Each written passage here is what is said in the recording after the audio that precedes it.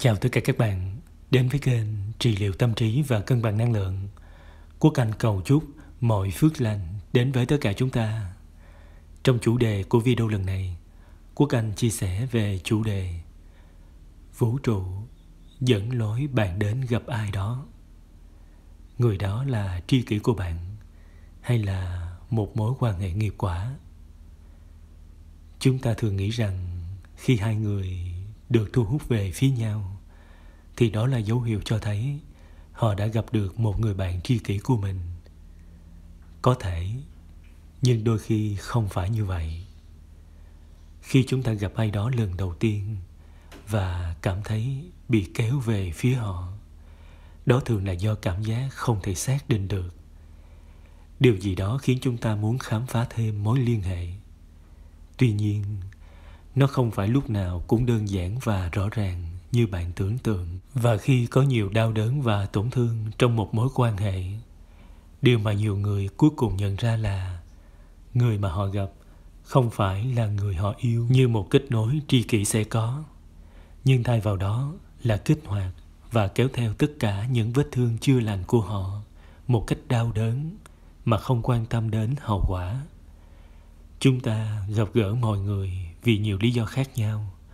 Và những kết nối sâu sắc mà chúng ta tạo ra có thể cho chúng ta biết nhiều điều đáng kinh ngạc về bản thân. Nhưng chỉ khi chúng ta cởi mở để hướng nội, nếu chúng ta khép kín, đề phòng và có thói quen đổ lỗi cho người khác về cảm xúc, tình cảm và hành vi của mình, thì có khả năng chúng ta sẽ tiếp tục gặp những người bạn có vết thương tương tự và lặp đi lặp lại những kiểu rối loạn chức năng giống nhau.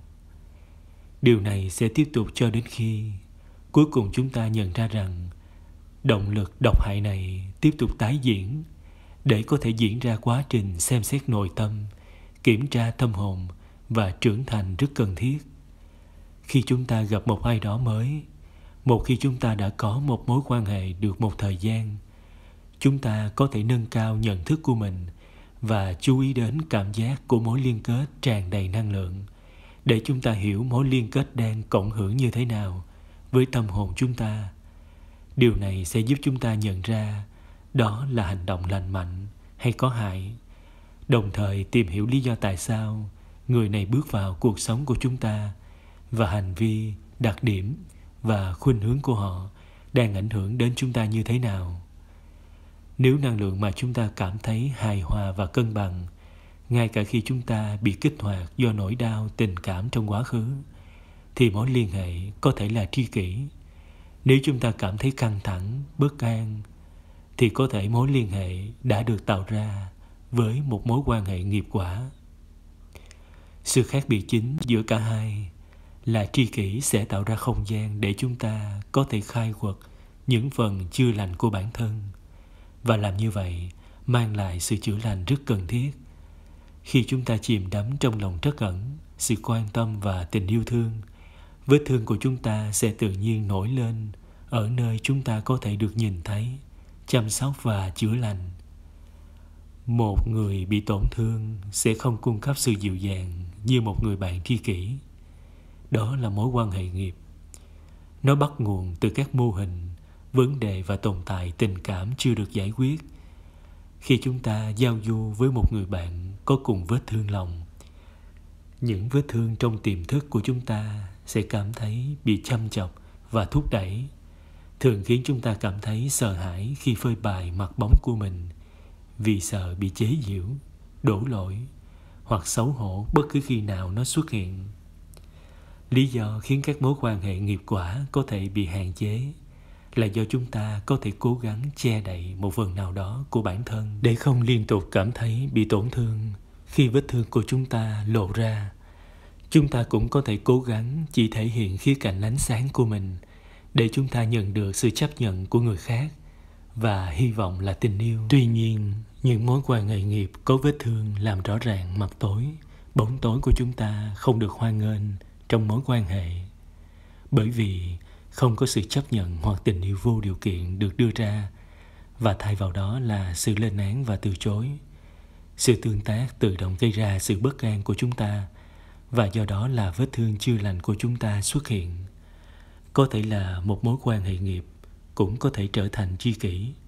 Tuy nhiên, vì sự hiện diện của cái tôi đang thống trị, đòi hỏi và tuyệt vọng phải kiểm soát, việc phá bỏ khuynh hướng tự cao tự đại là điều cần thiết trước khi có thể thiết lập một kết nối lấy trái tim làm trung tâm và mối quan hệ tri kỷ an toàn và yêu thương. Một điều thúc đẩy bản ngã là nỗi sợ hãi. Cho đến khi cả hai người chuyển sang một nơi không sợ hãi và đồng cảm khi đối mặt với tình yêu và vết thương, bản ngã sẽ tiếp tục dựng lên những rào cản hạn chế giữa hai người, khiến cho mối quan hệ đích thực gần như không thể hình thành và cũng có khả năng cao là vết thương của chúng ta sẽ trở thành tâm điểm chú ý trong mối quan hệ. Điều này là do bản ngã bị ám ảnh bởi những vết thương và nỗi đau. Điều này thật trớ trêu khi bản ngã làm việc không mệt mỏi để cố gắng tránh những vết thương và nỗi đau. Trong nỗ lực điên cuồng của cái tôi để không bị tổn thương về mặt tinh thần, chúng ta càng làm cho vết thương cũ còn sâu hơn thay vì làm việc với nhau để giải quyết nỗi đau tình cảm chưa được giải quyết, chúng ta quấn quanh nó nhiều lớp đau đớn và xấu hổ. Do đó, tạo ra nhiều vết thương, chấn thương và hỗn loạn. Mặc dù chúng ta thường nghe nói rằng chúng ta không cần bất cứ ai khác để chữa lành cho chúng ta, nhưng những người bạn tri kỷ và những mối quan hệ nghiệp có thể cung cấp một liên kết trực tiếp đến vị trí của vết thương của chúng ta nhưng mối liên hệ mật thiết mà chúng ta có, phản chiếu lại cho chúng ta bản thiết kế tâm hồn.